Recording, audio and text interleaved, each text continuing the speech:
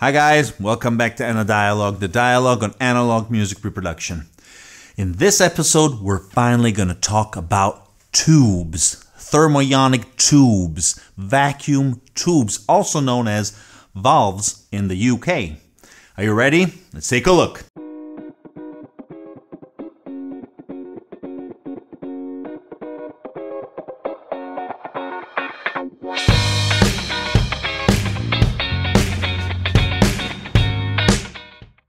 Okay, guys, so today we're finally gonna focus on tubes. Oh, yes.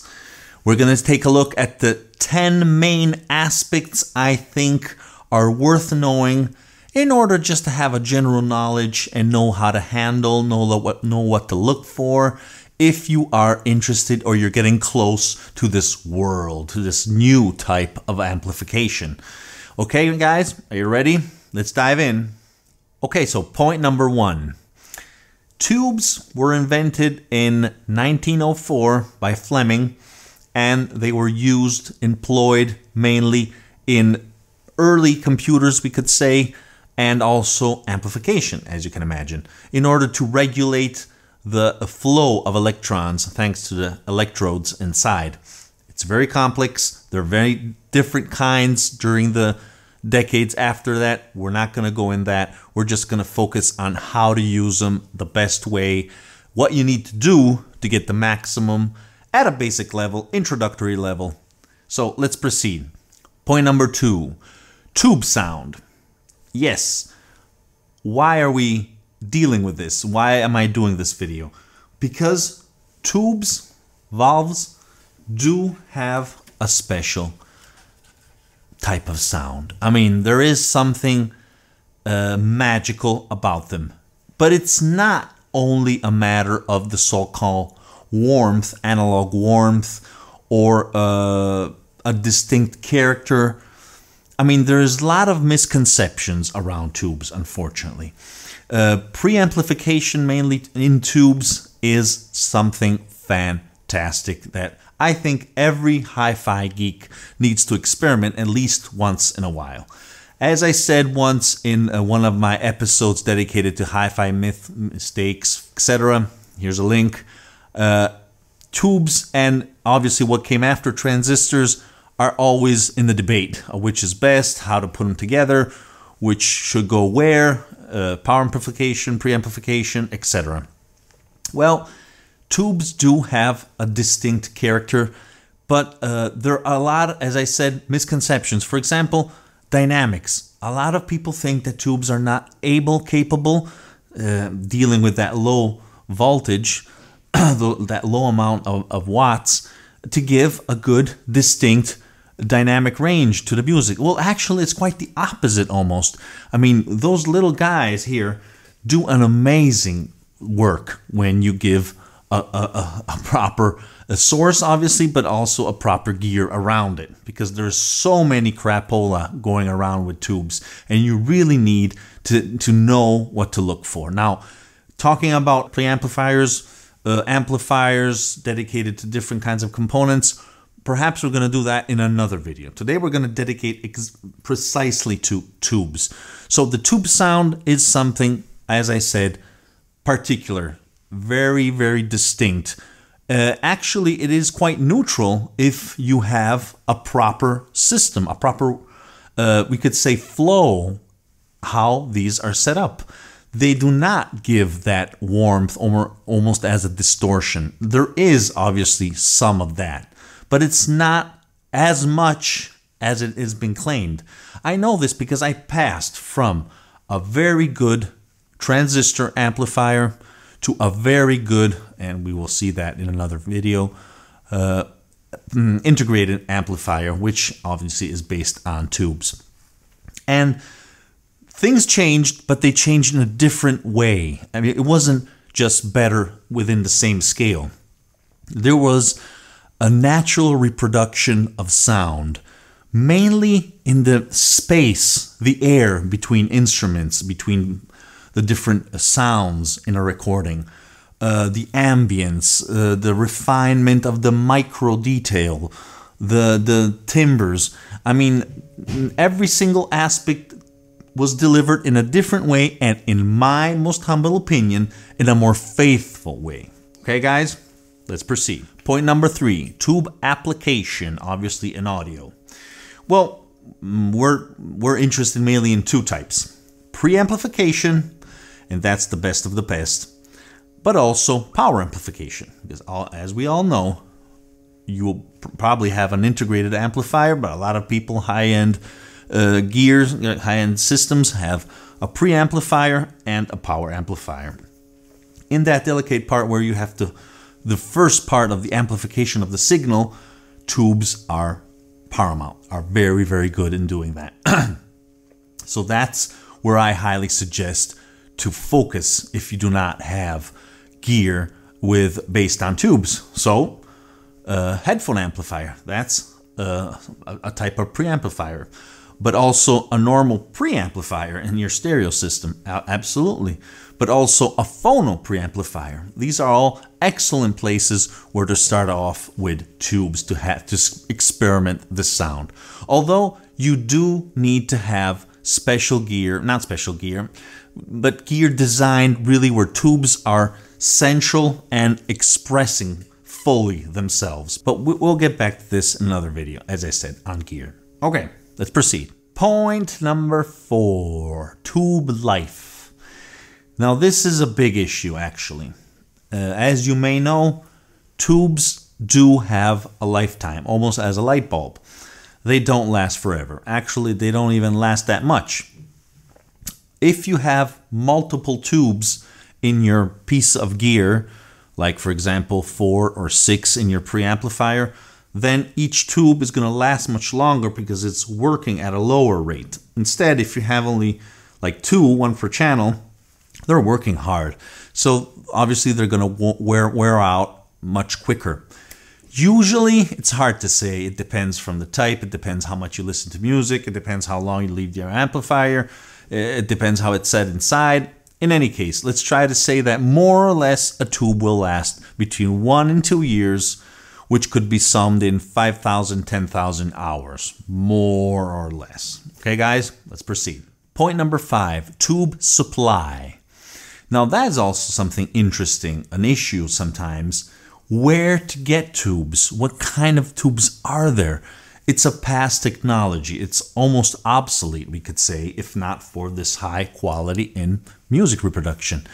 So, we, we mainly have two big areas where we can head to buy our tubes. Because even though if you buy a component with its tubes already in, sooner or later you're going to have to change those or if you want to experiment different kinds of sound but we'll get back to that at the end okay so um we have two main areas where we can buy tubes the new production which is not that big or the new old stock nos which I would say you can find them in several e um, stores online, maybe to your local stores. Who knows which deals, but deals with them. But usually, you really had to hit on eBay to find them. At least that's what I do. Here in Italy, it's very very difficult to find them. Nobody has them. So at that point, you're probably going to start spending a little more if you're going for new old stock. New old stock it's probably better because they were mm, tubes are coming from a period where they were made to be good to last in the golden age of tubes obviously uh, while now we only have a few manufacturers who are, who are doing that and obviously as you can imagine like buying a new cassette player it's not going to be top of the tops although there are decent pro- pro- products absolutely so i have a list here of the main uh, resources, the main places, and the main brands. I'm going to read them. I don't know all of them by mind. Uh, so let's see them.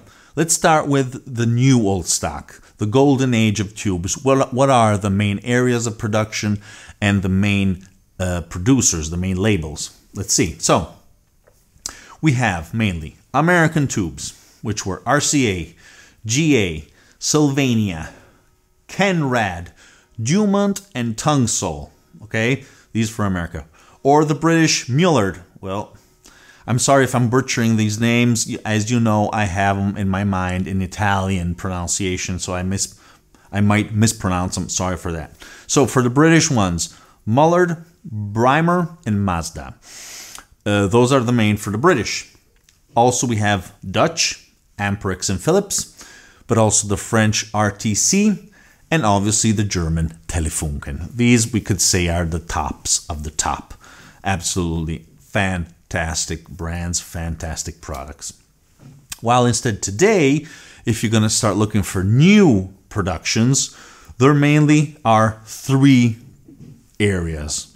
First of all, China, Shuguang, and we have a lot of brands and sub brands there.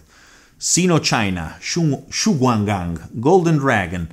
Uh, they also rebrand Mesa, Ruby, TAD, Groove Tubes, PM Components, Valve Art, Peavey, Fender, and obviously much others. And these are all Chinese, which are good. Don't think Chinese equals crap. Chinese are good. They're, uh, they are good products. Not all of them, but they are good. Uh, obviously, there are much, much more brands, but I'm just telling you the main ones. Uh, the, the another important location is in Europe, the Slovak Republic, mainly JJ Electronic, which does again a lot of brands and sub brands, which does JJ, Telefunken Black Diamond, but it also rebrands Mesa, Ruby, TAD, Groove Tubes, PM Components, Valve Art, Peavey, Fender as the Chinese. They both do them. Then the third big pole is, as you can imagine, Russia, which is doing a lot of good products, I would say. Mainly Reflektor Car Corporation, which again, they do a lot of brands and sub brands. So, New Sensor, Electro-Harmonix, Mullard reissue, Tung Sol reissue, Sovtek, Genalex Gold, Lion, Svetlana, which are not the real Svetlana, and and etc etc but these are just to give you a few names which i'm going to write down here and in the video description you're going to find them all okay? Let's proceed. Point number six tube matching. Oh yes. This is something annoying but you have to keep in mind when you're buying tubes for your gear they need to be matched and in a lot of cases they're just selling them out like that on the stores etc a matched tube is much, much better.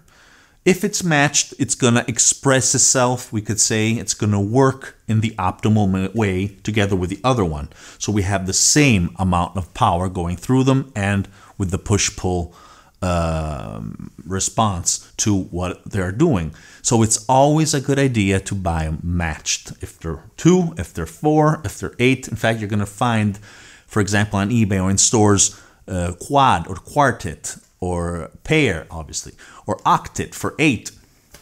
Like, for example, I have eight power uh, tubes in my amplifier.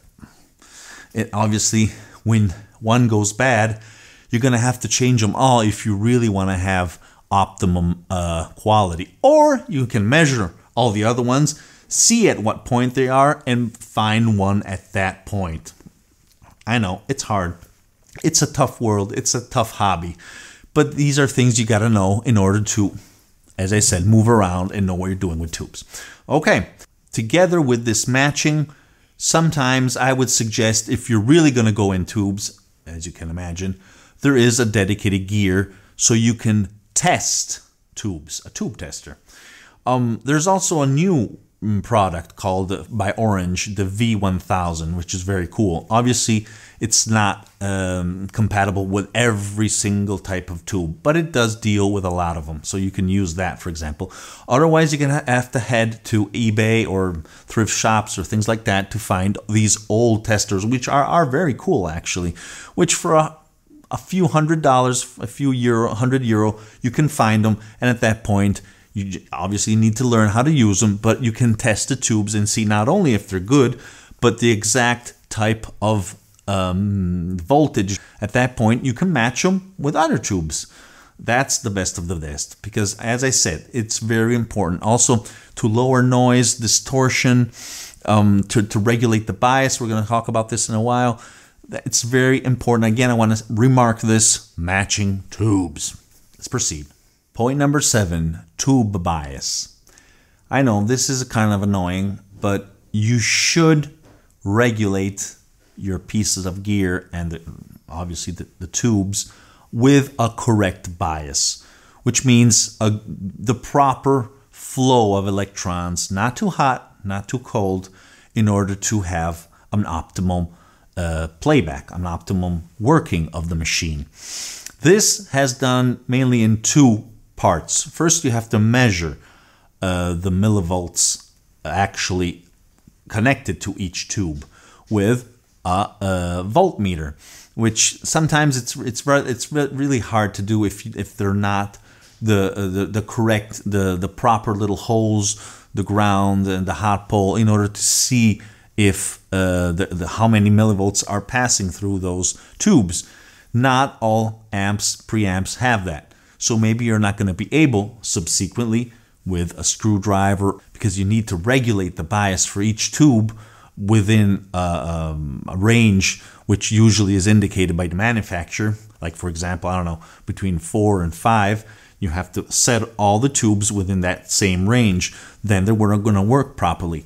Or you can buy a piece of gear which has auto bias, mm, like mine, the best of the best. And that's much easy, and it's obviously going to be uh, theoretically the best optimum bias for each tube. I know this sounds difficult, and in fact, not all pieces of gear are capable of doing this, so you have to check this. Okay, guys? Let's proceed. Okay, point number eight tube handling. Now, you saw me touching this, but this is a broken tube.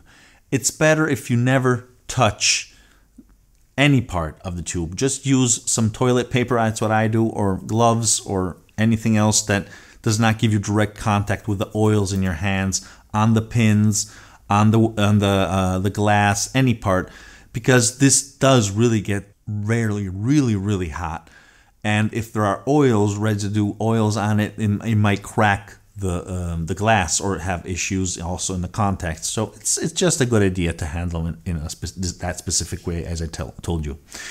Um, another important aspect is because it, it might seem something obvious to everyone who is already dealing with tubes. But if you're a newbie, you really don't know how to do this. What am I talking about? How to insert them and take them out of components, which really it's it's sometimes almost scary because they're really hard to take them out. It's it's hard to insert them and uh, take them out. Just as I said, take a piece of paper and if you're inserting them, you just follow the holes according to the number of pins how they are displayed.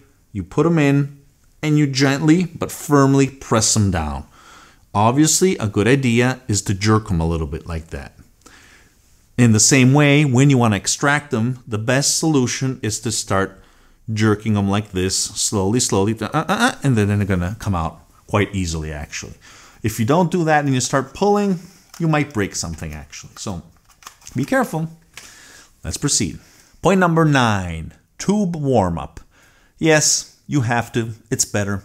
I mean, I just turn them on and put my records or whatever I'm using. But obviously, you're going to have the maximum result, at least I would say 20, 30 minutes, even more sometimes after you turn them on. Uh, after that time, the, the tubes are nice and warm and the music is gonna, really going to start to sing.